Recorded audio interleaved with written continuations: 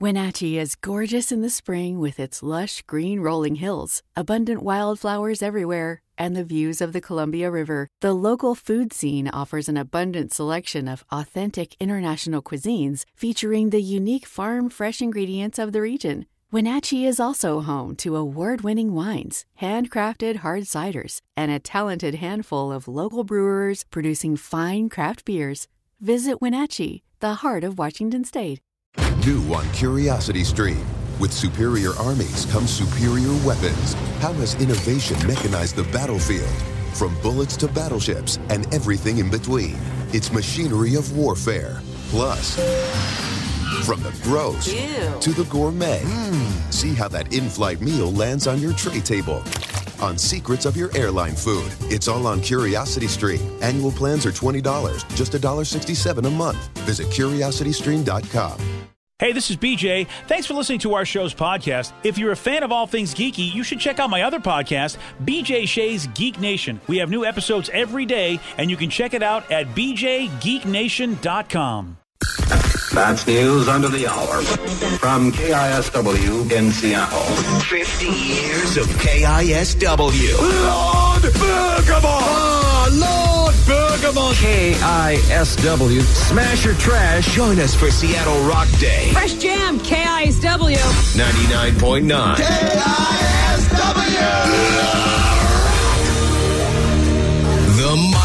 99.9 KISW and KISW HD1 Seattle. A radio.com station starring BJ and Migs. Mornings. Because, hey, at least once a day, you should experience a BJ. You know, I'm ready for my BJ. 99.9 KISW, the Rock of Seattle. We got the gear, man. It's our 50th anniversary. And, uh, matter of fact, uh, Steve's rocking something Yeah. right now as we speak. Check me out. Got the 50 KSW shirt on. Feels Yeah. good. It's comfortable. And technically, it's not a black shirt. So suck it, wife. She always gives me a hard time. It's like every day you wear, go to work wearing a black shirt. This is more charcoal. Yeah. Very it. dark charcoal. Yeah. Yeah, well, listen, uh, there's a lot of great reasons to get the 50th anniversary gear in the rock shop, but I think the more important reason is to say, suck it, wife. Suck it, that- wife. Yeah, I mean, knit hats, trucker caps, short sleeve sleeve tees, light zip hoodies, and the opportunity to tell thy wife to suck it. Cannot confirm or deny that's a good idea. Yeah, so uh, celebrate with us, man. Celebrate KISW's 50th anniversary. Go to the rock shop, get one of these cool pieces of merch or more at KISW.com. Let's play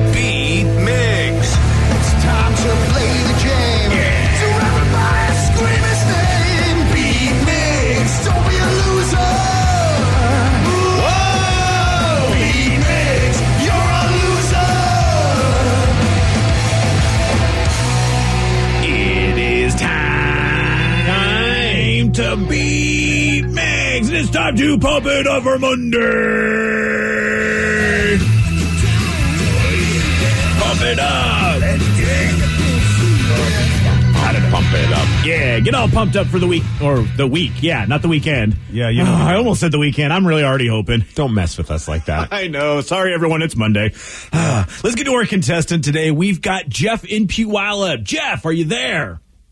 Yeah, buddies. All right. All right, Steve, get out of here. Goodbye. For those playing at home, Jeff will have 60 seconds to answer 10 questions. Jeff, you can pass all you want, but you will only get three guesses per question. Are you ready? Yeah, and I don't know if Danny's around, but I'd like to dedicate today's win to Danny V. Oh, that's very sweet of you. Yeah, he's still back in New Mexico. Uh, you know, his, his grandfather passed away. So, uh, yeah, we'll let Oh, him no. know. I mean, it's- he's listening, I'm sure. So, all right. I like that All for right. Danny V. All right. What character did Mark Paul Gosselaar play on Saved by the Bell? Oh, shoot. Uh, uh, not Screech. I, I'll come back to it. Do you want to pass? What year in the mid 2010s did the first Deadpool movie come out?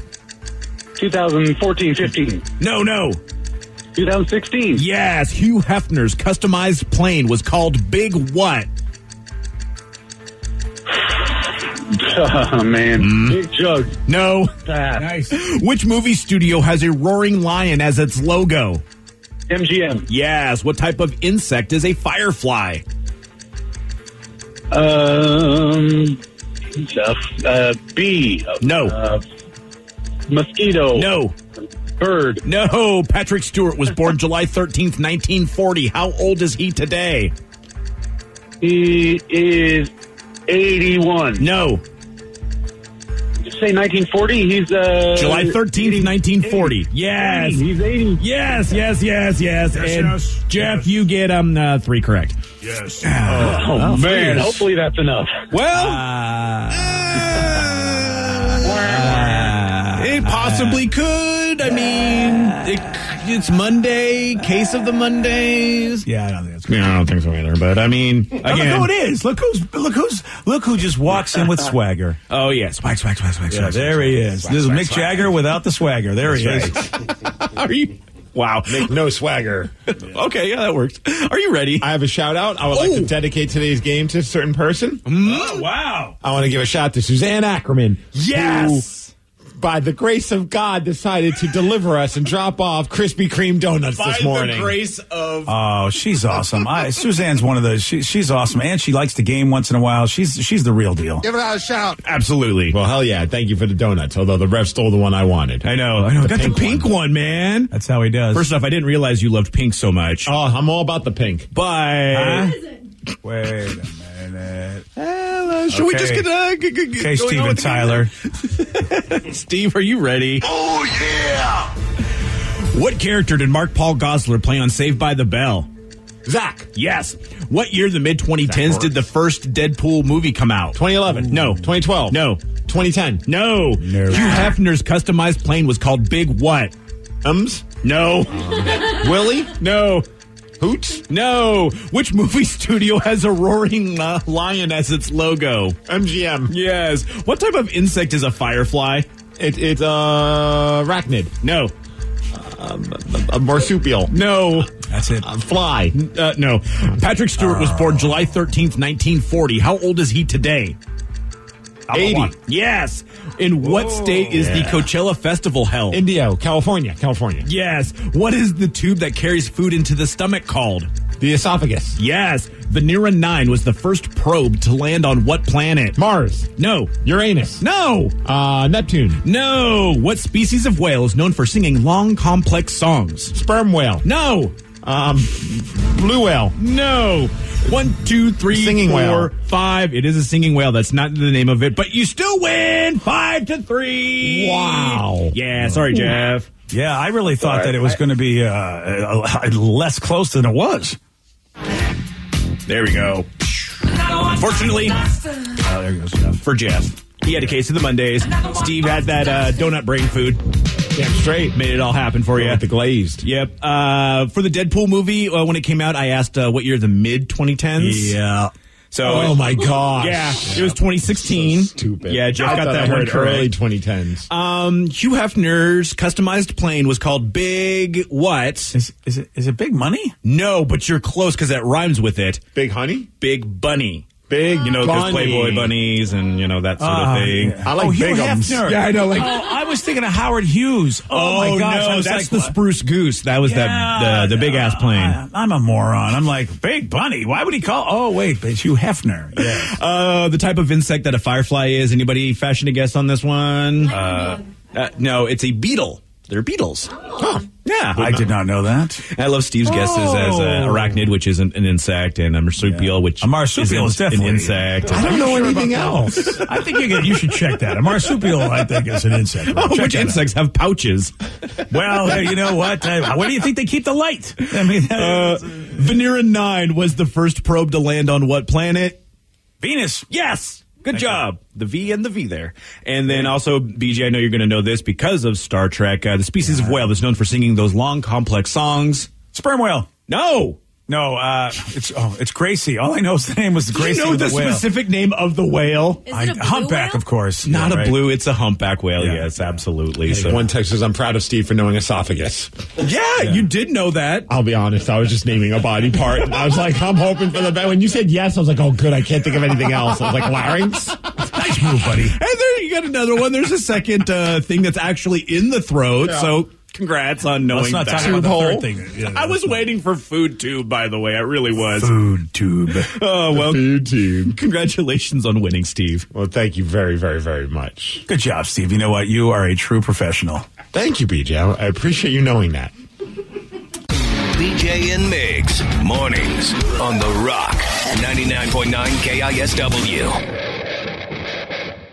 Today's podcast was brought to you by Travis Gagne, bankruptcy attorney. He's here right now and has agreed to answer more of your questions about bankruptcy. How do I know if bankruptcy is going to provide me with relief? What are the steps for my situation? Uh, there's so much information out there about bankruptcy with the internet and uh, what people have heard from friends and, and other people that they've talked to about their financial issues or, or bankruptcy. Uh, there's there's also a lot of bad information out there or, or urban legends about bankruptcy. In order to determine whether bankruptcy makes sense for you, you need to talk to an attorney that's experienced in bankruptcy. So, in order to determine whether bankruptcy makes sense for you, you should talk to an experienced bankruptcy attorney. And right, my job is not to convince you to file bankruptcy. My job is to help you to, to make that decision and have all the facts uh, so that you can make an informed decision about whether bankruptcy makes sense for you, what benefits it's going to have for you, and what the downside of filing bankruptcy is. Thanks, Travis. If you have more questions about bankruptcy, you can reach out to Travis anytime at choosetherightchapter.com. 99.9 KISW. 50 years of KISW. Brought to you by Palace Law.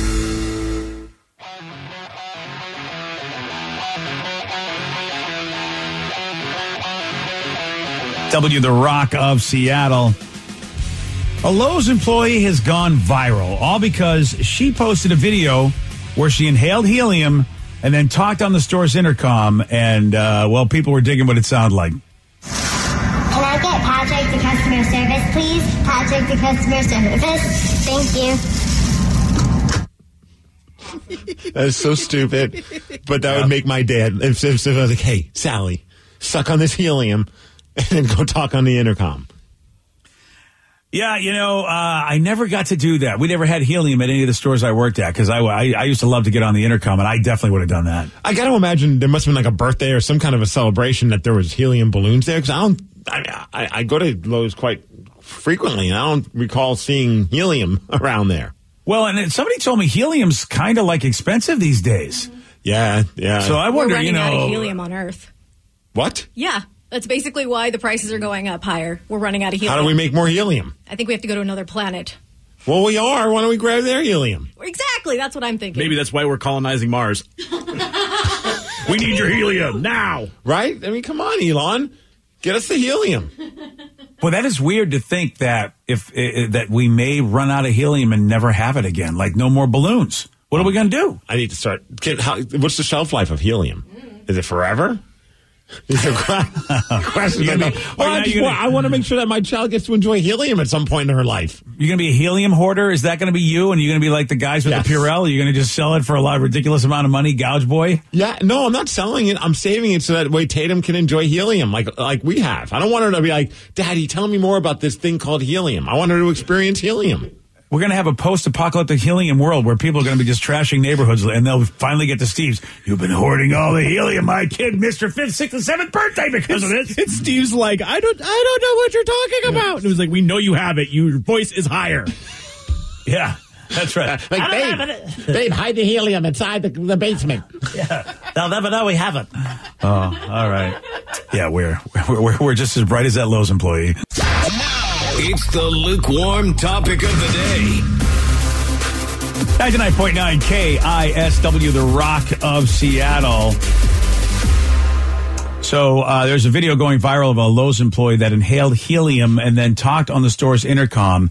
So uh, based on this, we want to know, man, uh, what is that one dumb thing that you've done to make your workday better?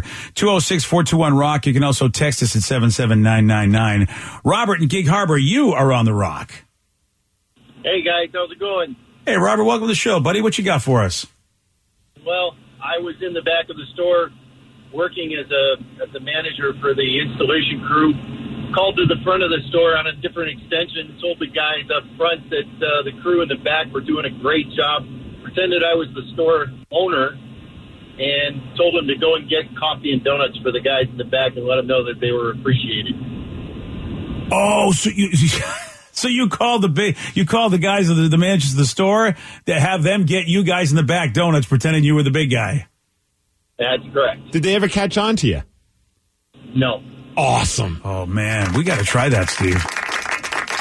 I mean, we we never tried that action before. I mean, not that we really have a shortage of donuts, thanks to Suzanne today. Oh, mo- more important question for you then. Yeah, if, if you were going to get a box of donuts and you knew your coworker Steve loved the pink donut, would you take it from him before he was able to grab it?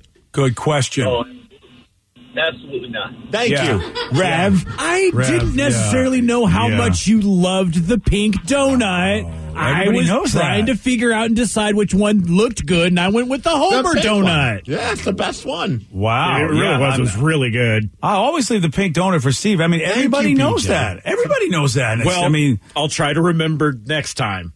oh, will you try? oh, I, said see. I, attempts will be made. wow, oh, we just need to get two pink donuts. We have two for the pink. Okay. Yes. Yeah. we got a text, BJ. Oh, do we really? All so right. Well, to- uh, I don't want to know where that text is coming from, since we have two in the pink donut.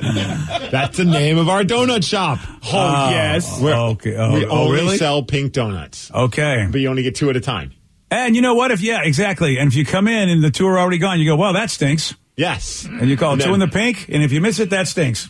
Or th- then we have you, you could get the the packet Why the two pink donuts and then the one chocolate donut. Uh, you can get the. Oh yeah, that's right. Okay. All right, we need to take. And you know something? Seriously, you can sell great coffees, but only, but you say, look, the coffee uh, will come by the cup instead of by you know it'll be in a cup. And then you get two donuts in one cup. But we promise not to sell any waffles.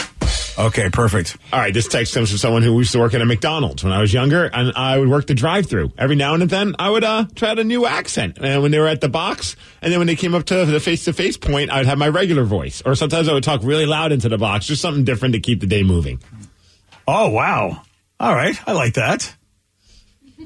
206-421 rock text us at 77999 again the question is what dumb thing have you done to make your workday better I don't think this is dumb. I just think this is fun. Uh, back when uh, I worked at a restaurant, and I worked a couple of brunches, and if it was slow or busy or we just weren't in a good mood, I'd have the bartender make us all mimosas, so we'd be drinking on the job, and it made us much lovelier servers.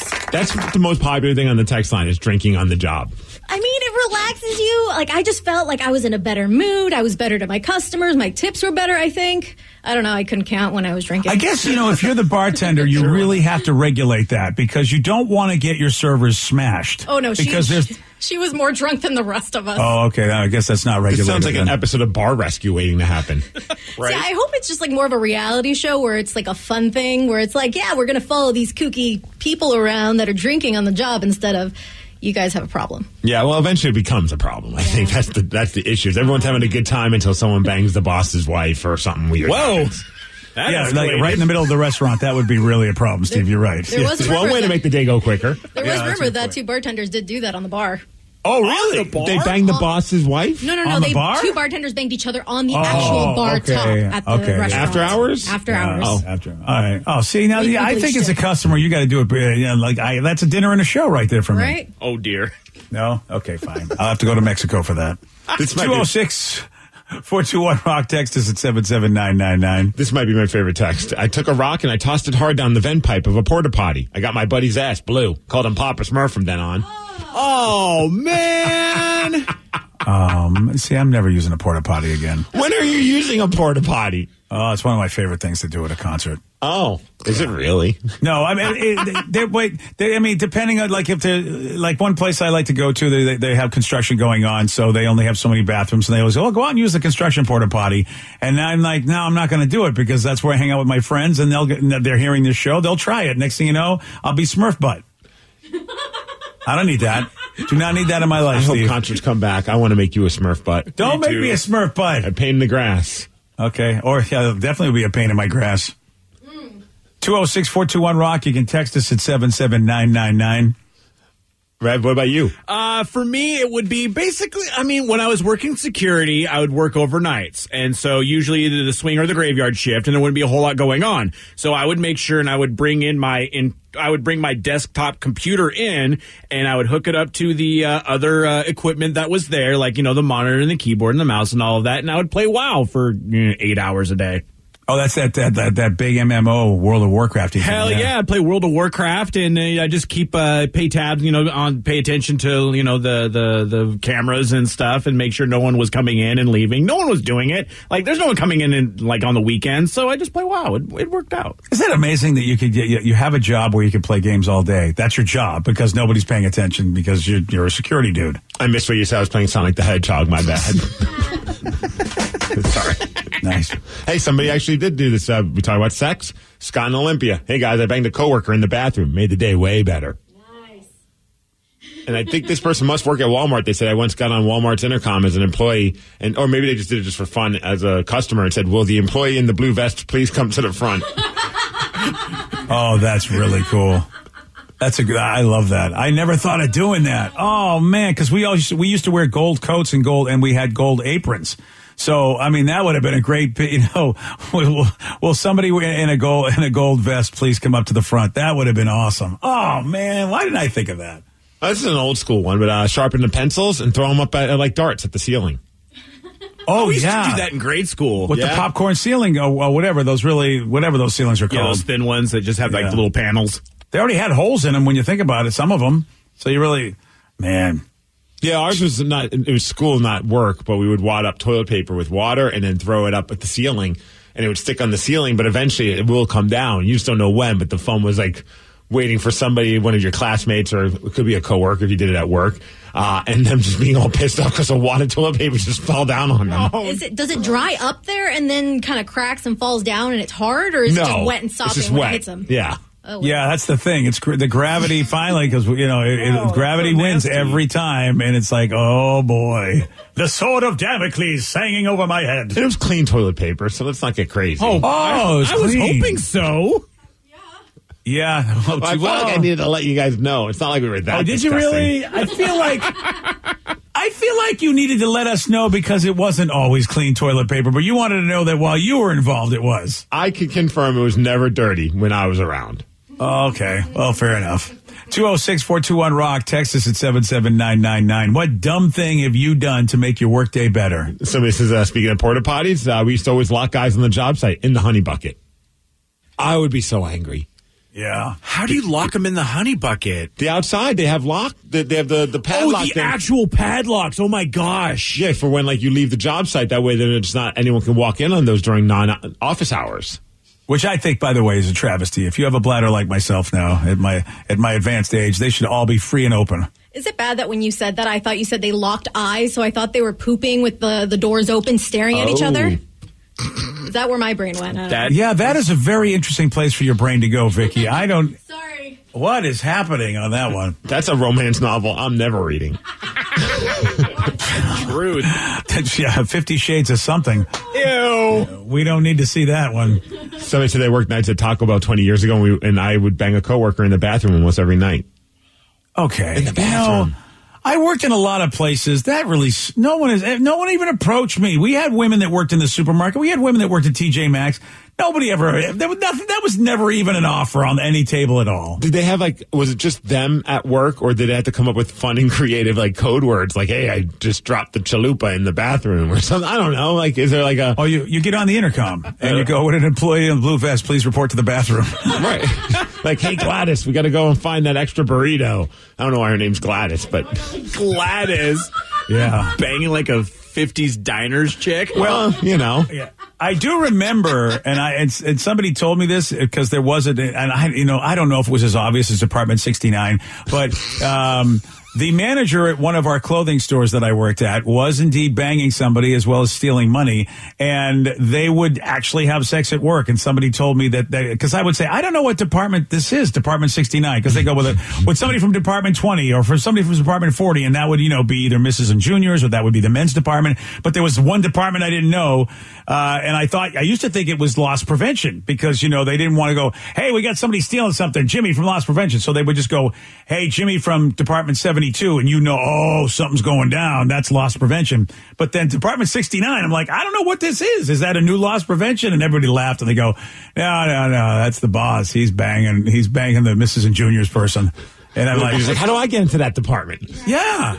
But how about they were so brazen they would page each other that way, Steve? They would like, They uh, didn't you care. know- Yeah. yeah. I mean, you know, she would say report to Department 69, or he would say it, and you know, morons like me would be like, wow, that's this is happening, and I didn't even know.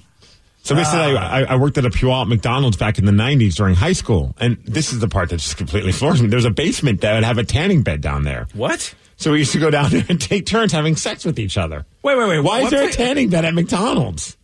That's awesome. And are they having sex on it with it on? That's what I thought. We want our employees to be golden like our fries. Right. What is? Weird ass tan lines. Get down there. You're not golden enough. A tanning bed in a McDonald's basement. Wow. Yeah, what the heck? How did that even happen?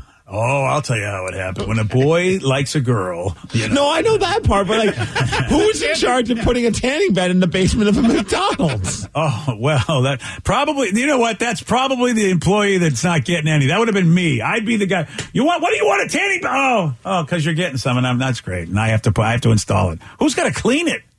Ew. See what I'm saying? That's probably me again. Okay, you know what? I'm not, I'm, I'm, I'm, I'm not working in any. Poor Grimace. Oh, Grimace has to, all right. Well, everyone else has got a job. Yeah, well, the hamburger, so I'm not sure. Okay. BJ and Migs, mornings on The Rock, 99.9 KISW. Today's podcast was brought to you by Travis Gagne, bankruptcy attorney. He's here right now and has agreed to answer more of your questions about bankruptcy. If I call Travis, will I actually see him or someone who works for him? Absolutely. When you come in to see my to my office, uh, when you first call in, my staff will try to help you with with any basic questions that you have.